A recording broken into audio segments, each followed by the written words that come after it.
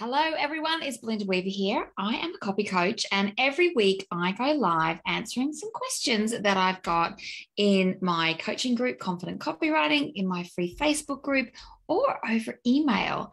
And this one is it's kind of a less of a question um, and more of a situation that you've probably found yourself in. So I had someone write to me and say, I'm struggling to find out if I can write copy that people will read.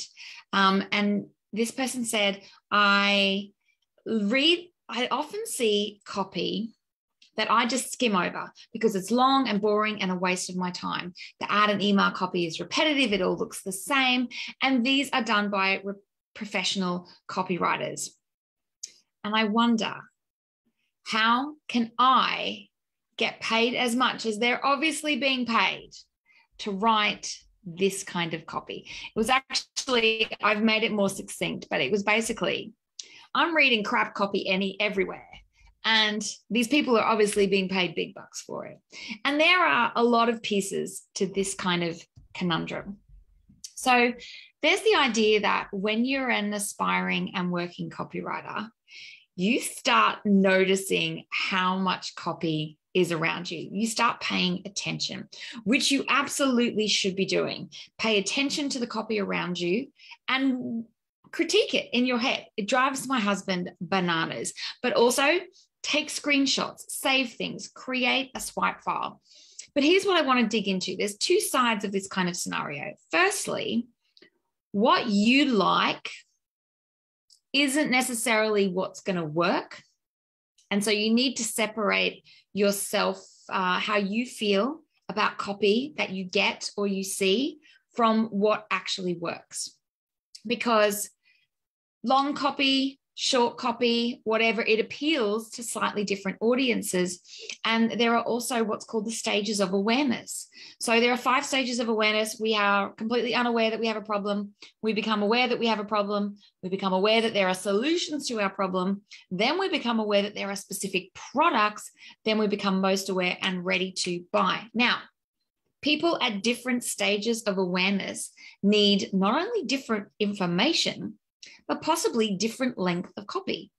So there is also personal preference. So what works for you won't necessarily work for someone else because of personal preference, but also completely different needs. You're probably not in the target audience um, and different stages of awareness. So, as copywriters, we need to separate what we like from what will work for the audience of the client we're writing for. So that's the first thing. Um, the second thing is when you see copy around and you're like, that's pretty boring. Now, I'm in Silicon Valley in California, and we take regular day trips up to San Francisco. The whole area is billboards about software, you know, ClickUp, Zoom, HR software. Name a SaaS tool, there is a billboard. And some of them, yeah, really uninteresting.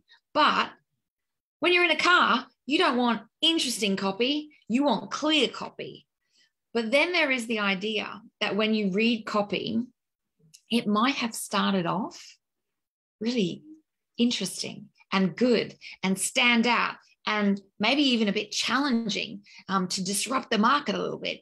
But once copy goes through two, three, four, five rounds of reviews with all sorts of departments, which is what happens in agencies and big companies when it's not just you and the small business owner hashing it out.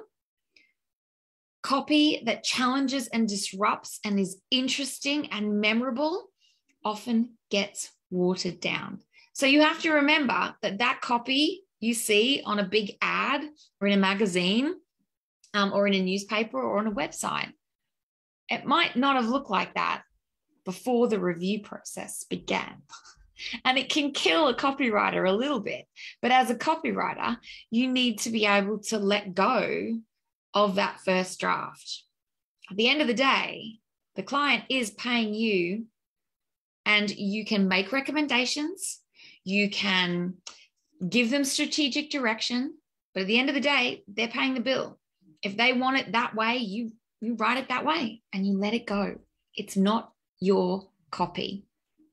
And so, one final thought I have for you, this might challenge you, is that there are a lot of copywriters who make really great money and they aren't that great. I know I'm not, I don't have names in mind. I'm not here to name and shame people, but you can make awesome bankroll as a copywriter by being decent. Actually, not even that. You can make awesome bankroll as a copywriter by just being not shit, delivering the work when you say you will, and creating a decent customer service experience for your clients, right? So you don't have to be the best copywriter in the world in order to make a great living. Now, am I telling you that you can take your foot off the pedal?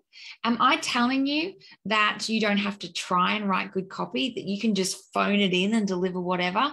Absolutely not. But you can't sit in a pit of bitterness because other people are getting out there and having success.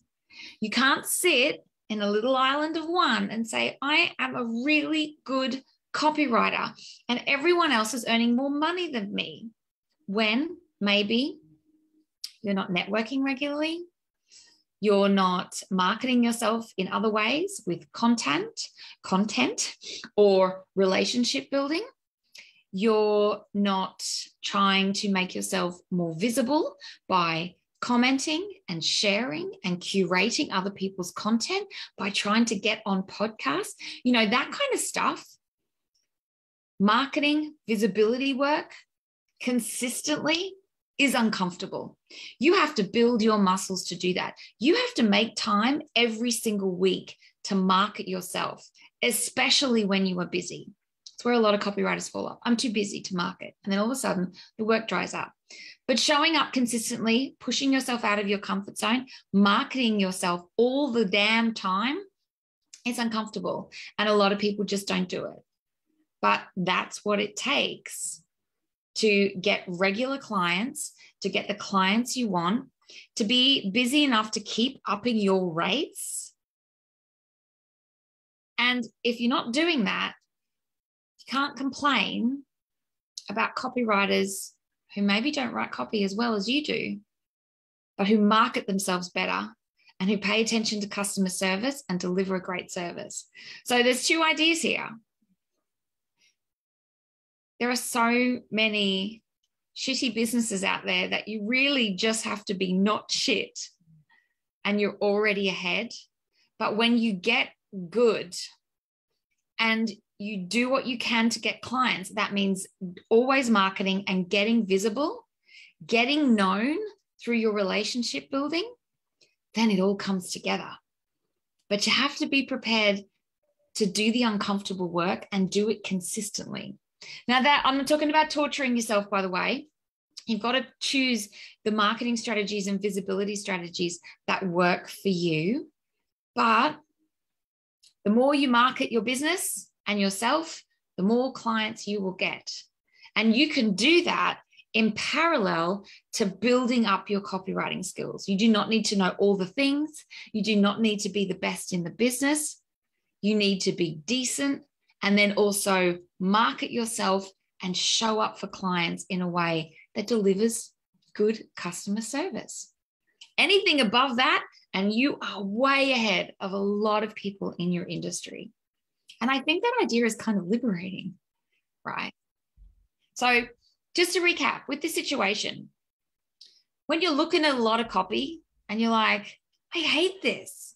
Who reads this? It's too long. It's boring. Just remember, you might not be the target audience. You might not be in the right stage of awareness for that piece of copy. And what you like or don't like is irrelevant to what works and what doesn't work. And the other idea is that you can't sit on an island, be the best copywriter in the world if no one knows who you are.